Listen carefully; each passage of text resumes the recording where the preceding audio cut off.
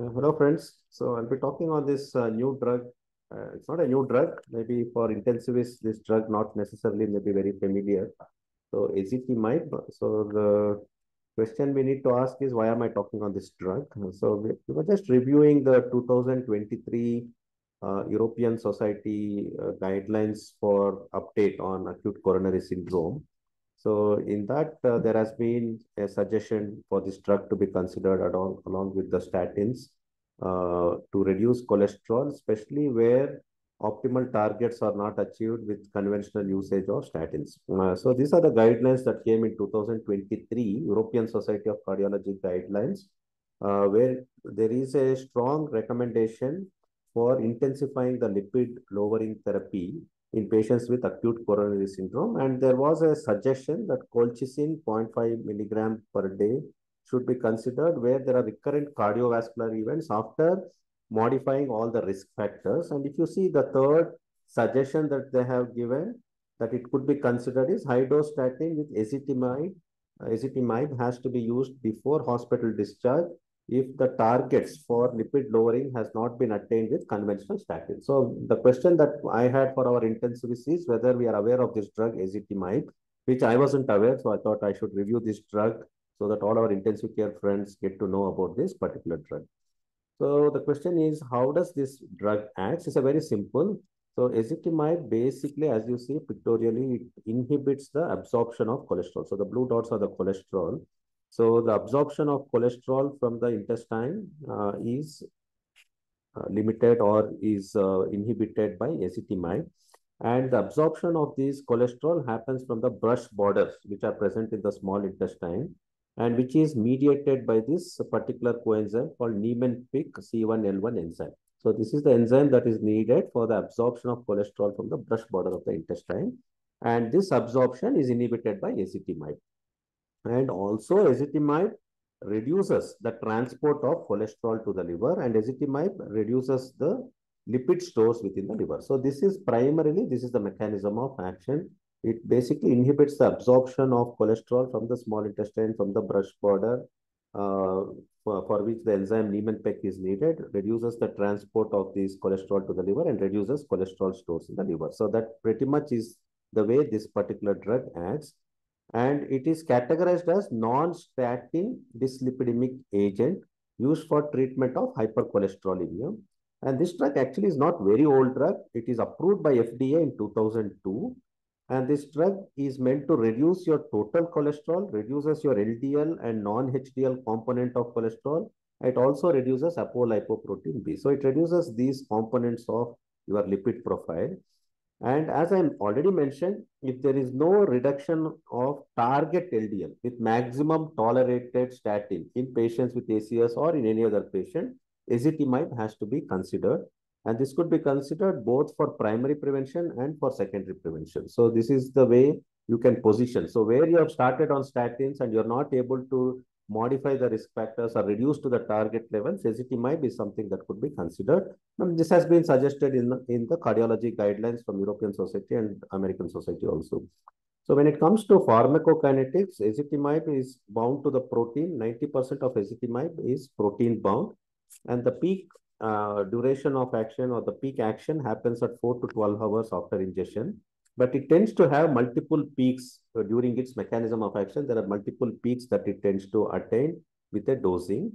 And metabolism, like any other drug, is by the liver with cytochrome P450 enzyme. So it gets metabolized and it is excreted in the urine as ezetimibe glucuronide. And as you, as we already mentioned, ezetimibe inhibits the absorption of cholesterol in the small intestine. So it gets excreted through the feces. Ezetimibe gets excreted in the feces and in urine as ezetimibe glucuronide. So the half-life of this drug is around 22 hours and the dosage is very simple and easy. 10 milligram once a day is the recommended or suggested dosage. And with that dosage, uh, one could uh, have good compliance and there are limited side effects with 10 mg. So it's a very simple dosage, 10 mg once a day. That is what is recommended. And ezetimibe has to be considered to be taken two hours prior or four hours after the ingestion of bile acid sequestrants. So if suppose a patient is on bile acid sequestrants for any condition like cholestyramine, So one, ha one has to suggest that this drug has to be taken two hours before or four hours after the ingestion of these drugs. And it is important when ezetimibe is being given, the baseline lipid profile has to be monitored. Liver functions, because it gets metabolized in the liver and there is some liver toxicity component with this, LFTs have to be at least checked once as a baseline and should be monitored in patients who are on long-term ezetimibe and monitoring of for rhabdomyolysis because like statins, this also can cause rhabdomyolysis. That is something one needs to bear in mind. And there are certain drug interactions when ezetimibe is used with cyclosporine, the dosage of ezetimibe has to be reduced to 5 mg because of the drug interactions. In post, maybe in post-renal transplant where they may be on cyclosporine, you have to reduce ezetimibe dose to 5 mg. And with regards to liver dysfunction, if someone has already a pre-existing liver dysfunction or chronic kidney disease, there is no need for dose adjustment as per the literature. And of course, in pregnancy and lactation, ezetimibe has to be avoided. So these are some of the things one needs to keep in mind when you are using ezetimibe. When we talk about adverse effects, there are risk factor for adverse effects. If someone is more than 65, elderly, someone with hypothyroidism or with a pre-existing kidney disease become risk factors for toxic effects or adverse effects. And adverse effects tends to happen at a higher dose. As I said, 10 mg is the normal recommended dose. If the dosage goes up to maybe 40 to 50, which not uh, traditionally are used, so the toxicity can happen at a higher dose. So what are the toxic effects of ezetimibe? They can have headache, they can have rhinorrhea, they can have sore throat, and fatigue is something like in statins, there can be some fatigue. And liver toxicity is something that one needs to bear in mind. That's why monitoring of LFT is to be done. And there are reports of autoimmune hepatitis that tends to happen. And they can have arthralgia and some arthritis sort of a component. And rhabdomyolysis is also something that has been reported with ezetimibe. So these are some of the side effects. So now the question is, so we understood the drug, very simple drug, inhibits the absorption of uh, cholesterol from the small intestine, from the brush border, and we understood the dosage. So whether there is any evidence for using ezetimibe. So this was the trial, the IMPROVE IT trial that came from the Brazilian group. This was published in NEJM in 2016. Now, so I not put a reference, but this this is come in 2016 NEJM. Um, it was a Brazilian sort of a study, possibly investigator-driven study. It was done in 18,000 patients with acute coronary syndrome, where they compared simvastatin uh, in one group versus simvastatin with ezetimibe group.